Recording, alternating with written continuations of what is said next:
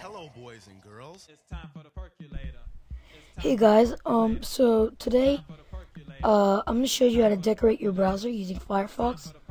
Um, you guys probably already know it's probably Firefox Personas, you know that. But in case you, some of you guys didn't know, I'm gonna go to teach you. Okay, so, um, first you're gonna go to, uh, www.getpersonas.com. Alright, so it brings up this.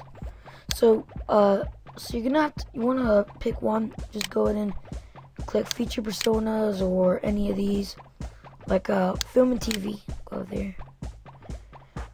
There's a uh, Snoopy, and whenever you roll over it, it shows it.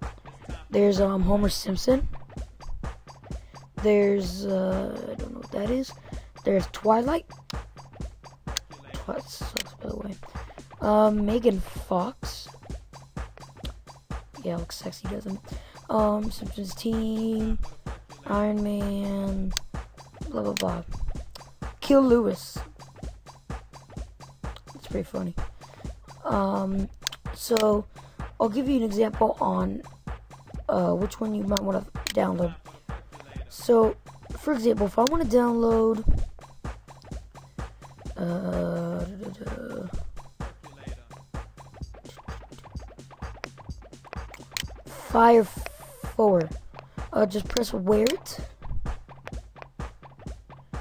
And you have that, and it says a new theme has been installed. And so, there you got that. And that's pretty much how it looks like. And so, next time when you open it, oh, a sumo paint open. Um, go ahead and go right here. And that's how it looks like. And so now I'm also going to show something that lots of people have trouble with, and that's uh how to uninstall your persona. So go ahead and go to tools, go to add-ons, and you show right here, just go uninstall. As other ones, just uninstall, and then it's on, and that's off in case you don't want it. and You want to pick a new theme. Uh, anyway, so that was another quick tutorial. Uh, thanks for subs- uh, thanks for uh, watching my videos. Please subscribe for more tutorials, and I take requests.